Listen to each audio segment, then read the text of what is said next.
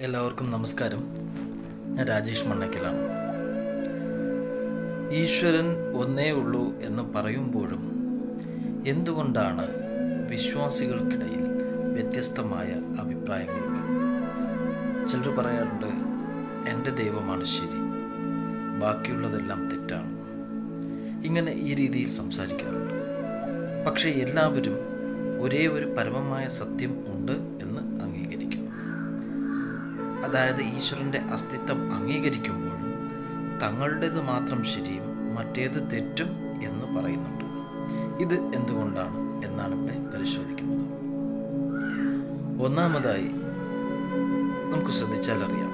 ഒരു ഉദാഹരണത്തിന് നമ്മൾ ഒരു ലൈറ്റ് കത്തിക്കുന്നത് എങ്ങനെയാണ്? അതിന്റെ സ്വിച്ച്. ലൈറ്റിന്റെ സ്വിച്ച് ഇടുമ്പോൾ ലൈറ്റ്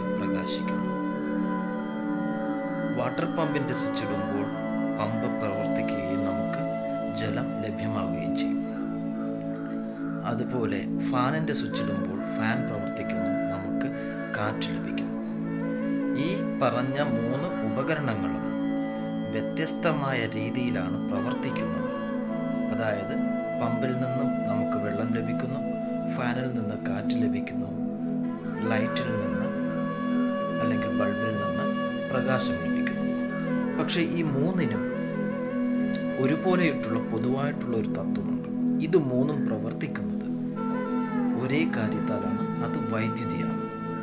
ലൈറ്റായാലും ഫാനായാലും വാട്ടർ പമ്പായാലും പ്രവർത്തിക്കുന്നത് വൈദ്യുതിയിലാണ്. വൈദ്യുതി പൊതുവായി തന്നെ മൂന്നിനും ബാധകമായിട്ടുള്ള കാര്യം അതുപോലെ വ്യത്യസ്തമായ ആരാധന അനുഷ്ഠാനങ്ങളും വ്യത്യസ്തമായ ദൈവിക സമീപനങ്ങളും തുടരുമ്പോഴും എല്ലാവരും ചെന്നെത്തുന്നത് ഏറ്റവും പരമമായ സത്യം ആയ പരബ്രഹ്മത്തിലാണ്. ഇതാണ് നമ്മുടെ പുസ്തകങ്ങളിൽ പറയുന്നത്.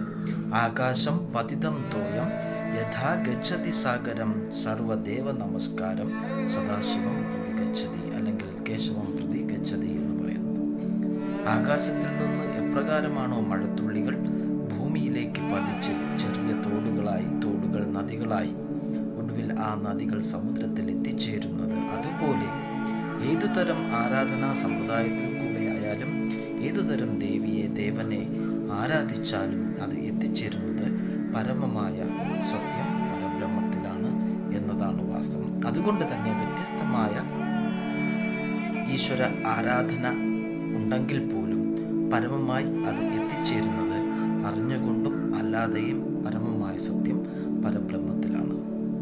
നന്ദി നമസ്കാരം